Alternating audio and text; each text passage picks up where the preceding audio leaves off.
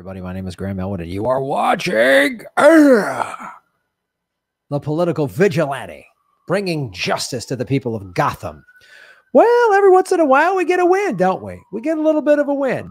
That's all right. There's just cops coming to get me. Um, Keystone XL pipeline.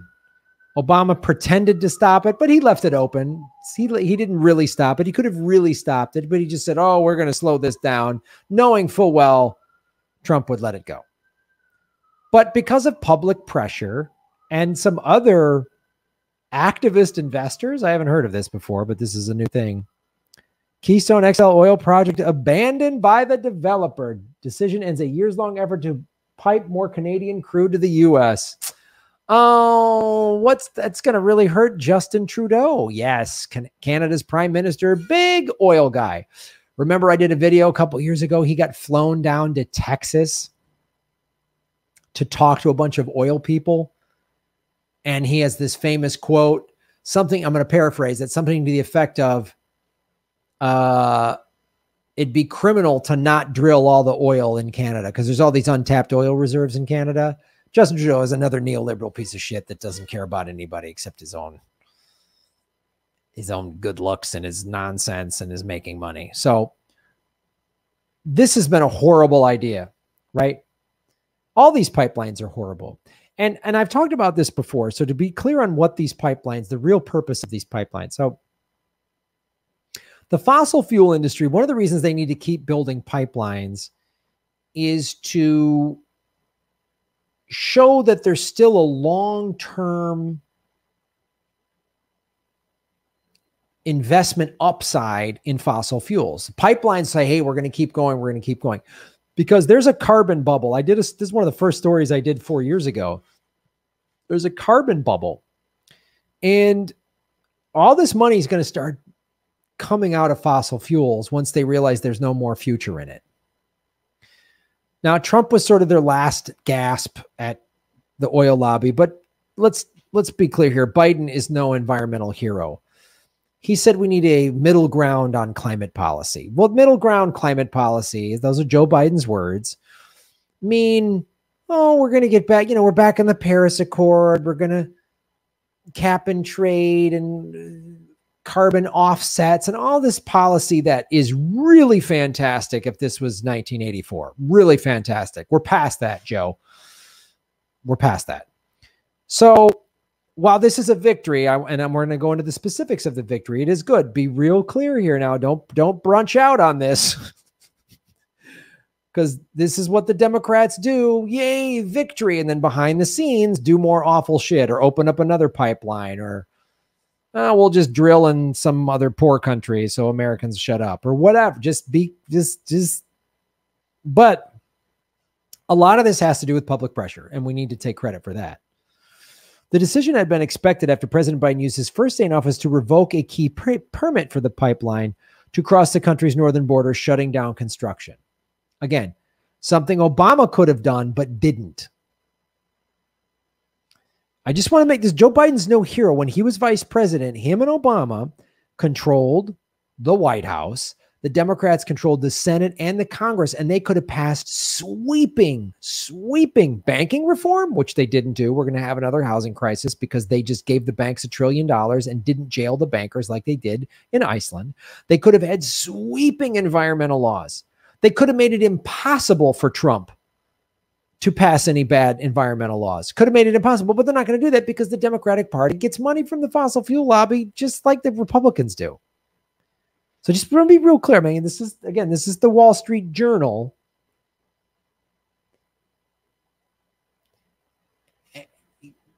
So they have a vested interest in keeping the capitalism and the you know Wall Street Wall Street. They really the Wall Street Journal wants Wall Street to keep going.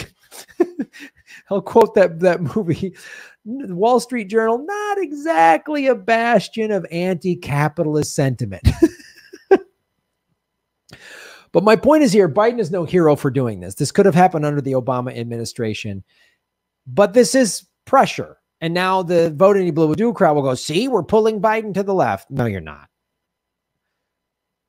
to the left of what? The right wing fascism of Trump. Now we've got nice, cuddly fascism. Like, let's be real clear here. Hold on.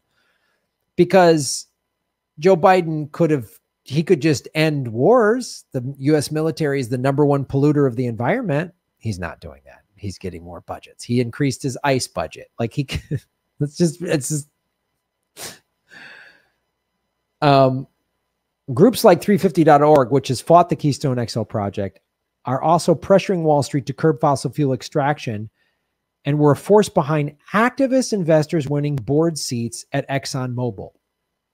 I want to talk about this because I've said a lot on this show. We need creative ways to do this because electoral politics, while yes, everyone should vote, people thinking that's the only way to invoke change or that's that's that's delusional. It should be one of like 5 to 10 things to do. And I've said before, we need creative solutions. Activists likely to gain third seat on Exxon board. Hedge fund engine number one challenged Exxon strategy amid climate change concerns. Now, is engine number one a bunch of hippies? I doubt it. They're probably just dyed in the wool capitalists who are like real smart enough to go fossil fuels is it's over. We need it's going to kill if we kill the planet, we can't keep making profits. So I don't want to sit here and go, "Yay, engine number 1 is the you know, is the green party of hedge funds." You're still a hedge fund. I'd like to do a little more research on engine number one, but let's just be clear here. But this is one what one tactic to use. Exxon said Wednesday that an updated vote count showed shareholders backed a third nominee of engine number one, an upstart hedge fund that had already won two board seats at Exxon's annual shareholder meeting last week. Engine number one, which owns a tiny fraction of Exxon stock, had sought four seats on the board and argued the Texas oil giant should commit to carbon neutrality effectively bringing its emissions to zero, both from the company and its products by 2050. If these oil companies were actually smart and really wanted to have long term sustainability financially, they should be like, yeah, we're going green. They should be leading the way. Like AT&T, American Telephone and Telegraph they saw the writing on the wall that the telegraph wasn't going to still be around. So they went into telephones. And then when cell phones started, they really decided we need to get into the mobile phone business. I'm just talking, I'm just talking about from a financial standpoint. If I was the CEO of ExxonMobil, like, guys, this business is going to be out of date because all these countries, car manufacturers are saying, we're, all these car, we're not making gas cars anymore. We're going to be country after country by 2030 by 2035 no more gas cars. You know we're going to be carbon neutral. India has had to do that. They they have a huge pollution problem. China has in 2015 china just said overnight i mean you know in 2007 8 9 somewhere in there and they they just by 2010 on china just changed everything. Pollution's done more trains not pollution's done, but they just said, we're going to fight it.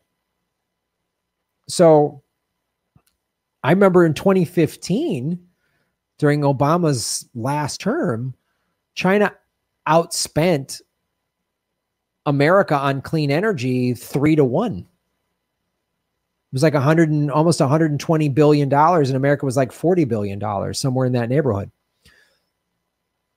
And I've been to China and I saw windmills and and high speed rail, and yeah, I saw very bad smog too because they it's like really bad. I was in Beijing in 2015, and there were some blackout days where you like don't go outside.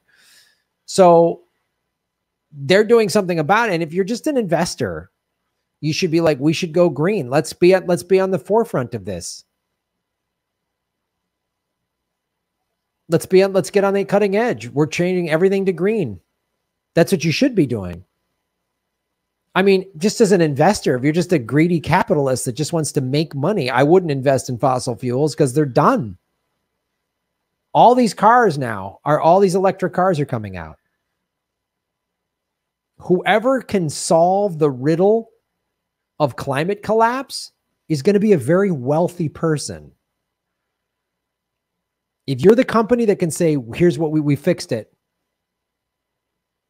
we can pull all the videos I've talked about, the algae that pulls uh, harmful emissions out of the air, the um, Alvaria, that mineral to put on beaches that pulls it out. I mean, I've done video after video on all these little projects that it's working. The science is it's working. It just needs mass adoption. ExxonMobil could say, we're done. We're shutting down oil production and we're going into this.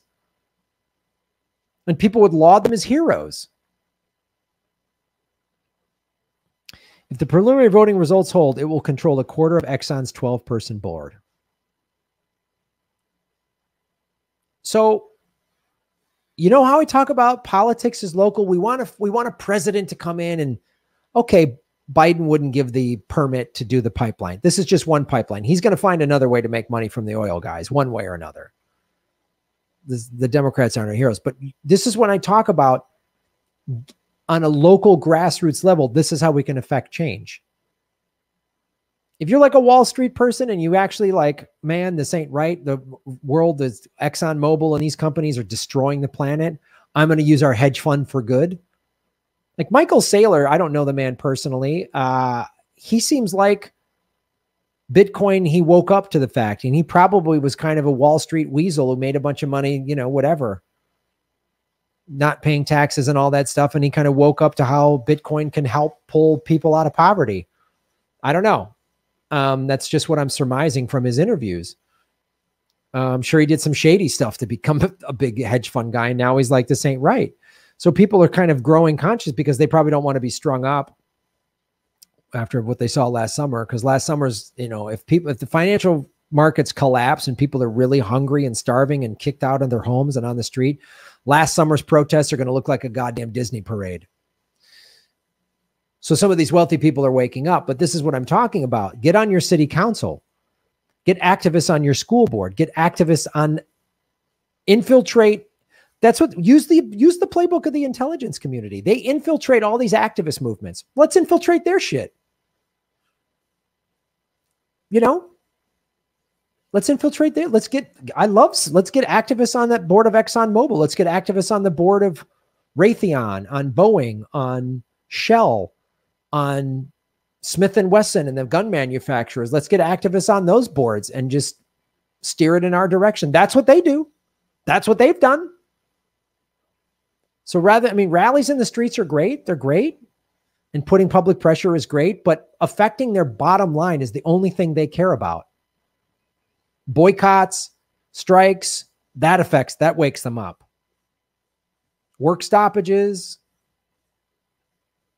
and people taking over. We need to take over city councils. We need to take over, um, you know, boards, board of directors. Instead of just letting a bunch of greedy assholes that all live in the Hamptons or whatever, we need to take them over. Let's get some socialists on these boards. Another reason to invest in Bitcoin, because if you become independently wealthy from Bitcoin, then you have some power and you can affect these companies in real ways. So I'm glad this pipeline got shut down. I will not be jumping in the streets for Joe Biden because they're going to wait and see what he's going to do. I'm sure he's going to pass more laws that are actually bad for the environment because they'll do like one good one that'll get a lot of press and then three or four bad ones that the MSNBC won't cover. Fox News is, you know, their their their take on this is going to be, ah, pipelines are murdering jobs. Take, getting rid of the pipelines is hurting American jobs. It's like we could all Americans could all go to work doing green energy. We could everyone we could end poverty, we could end homelessness and save the planet doing it. The whole country could get involved doing this. It would be an amazing thing that would unify the whole country. But the fossil fuel companies buy a lot of ad time on Fox and MSNBC and CNN. So vote with your dollars. Take public transportation, ride your bike, get an electric car, I have an electric car. They're not the final. I know that they're not perfect, and you, there's a lot of materials that go in them, but not giving the fossil fuel companies your money. They don't have money for the wars. They don't have money for the sanctions on countries like Iran and Venezuela that won't give up their oil. That oil needs to stay in the ground. We need to find new solutions. El Salvador just adopted Bitcoin as its currency. That's going to make a change. So, because when we talk oil, we're talking geopolitics, we're talking the petrodollar, we're talking all these wars, they're all connected. So that's why getting involved in there's many ways. It's like the Wall Street bets thing with GameStop showed us what a creative way of being of revolution and activism. That Wall Street bets thing. Nobody got arrested, nobody got hurt. Getting activists on the Exxon Mobil's board. No tear gas, no rubber bullets, no smashing anything, nobody getting arrested. Just we're changing this. There's nothing you can do. There's more of us than there are of them. We need to get involved on every little level, and then we can affect real change. So this is a victory. Keep our eyes on the Democrats because I don't trust them. I still am not voting for Democrats. You still can't reform that party from within. If you think so, you're a sucker. Thanks for watching the show. Follow the money, connect the dots, get the truth. That's how you make Gotham great again. Shave your knuckles for justice. Thanks for watching, everybody. Please hit the like button, the subscribe button. Go to patreon.com slash Graham Elwood and rokfin.com slash Graham Elwood, where you can support the show.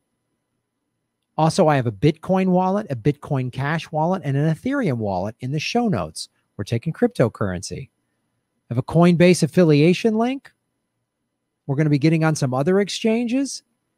So that's how you support the show. Make sure you hit the subscribe button. YouTube is unsubscribing us at an alarming rate. I have a PayPal button at grahamelwood.com. I even have a Venmo at Graham Elwood. There's a lot of ways to support our show. We are getting crushed by YouTube. They're unsubs. We've dipped under 73,000 subscribers because of YouTube. Thanks for supporting what we do.